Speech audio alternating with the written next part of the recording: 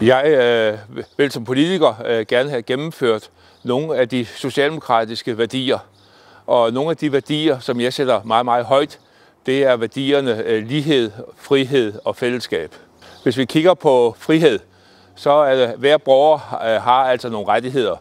Og det er vigtigt, at lige meget hvor man kommer fra, øh, hvilket samfundslag man kommer fra, så vil jeg sikre, at man har de samme øh, rettigheder i kommunen. Vi er øh, helt opmærksom på, at nu skal der ikke skæres mere inden for de ældre.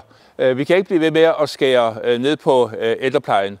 De ældre skal have mulighed for at have flere aktiviteter i deres hverdag, og de skal have en reel indflydelse på at kunne påvirke deres hverdag. Vi skal alle sammen bevare vores værdighed igennem hele livet, og det gælder også de ældre. Jeg tror jo på, at der skal forebyggelse og forebyggelse og forebyggelse til her i Guldborgsund Kommune. Vi har nogle meget, meget store frivillige foreninger, der kan understøtte forebyggelsen i Guldborgsund Kommune. Øh, og jeg håber, øh, at vi i den nye øh, periode her kan få et udbygget samarbejde med de der frivillige foreninger. Udover det, så er det meget, meget, meget vigtigt for mig, at de svage, og der tænker jeg især på institutionen Saxen Høj her i Saskøbing, at man stadigvæk bevarer Saxen Høj og udvikler Saxen Høj. De mennesker har været udsat for nogle besparelser, som jeg gerne vil rette op på og udvikle.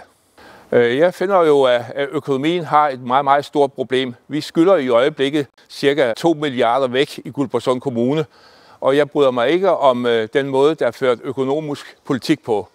Jeg har før været inde på, øh, at man ikke skal spekulere i offentlig velfærd, for eksempel at investere i Schweizerfrank.